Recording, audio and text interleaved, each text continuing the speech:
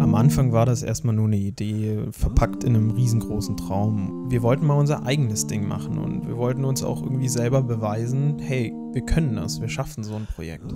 Nach unzähliger Recherche haben wir dann so langsam gemerkt, warte mal, das passiert ja wirklich, wir machen das jetzt. Ja, und dann war die Idee von der Dokumentation in Nepal, die saß so fest in unserem Kopf, die, die ging auch nicht mehr raus.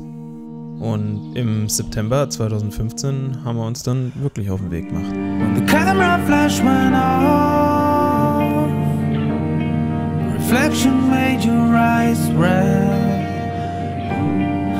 Said you have a secret, may reveal on the portrait.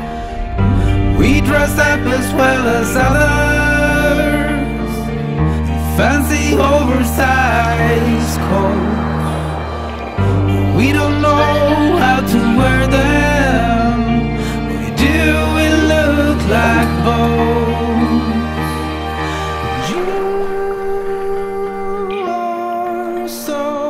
Wir waren Zuhörer von unglaublichen Geschichten über die Suche nach Erleuchtung, die Hoffnung einer freien Nation, über den Kampf der Geschlechtergleichheit über den spirituellen Weg und einen schamanistischen Weg.